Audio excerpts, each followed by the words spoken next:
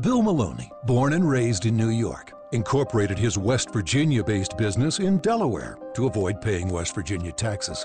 Maloney then sold his company for millions and allowed the headquarters and West Virginia jobs to be moved to Pennsylvania.